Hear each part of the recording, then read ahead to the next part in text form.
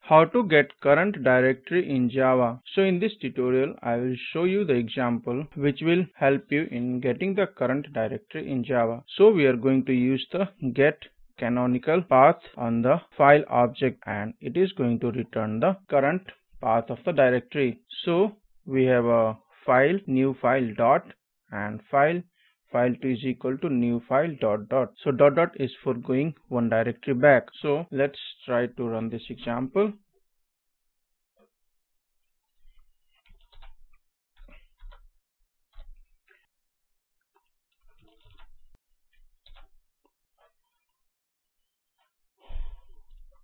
So file1 and file2 and current directory parent directory. So dot is for getting the current directory and dot dot is for getting the parent directory means one directory from the current directory.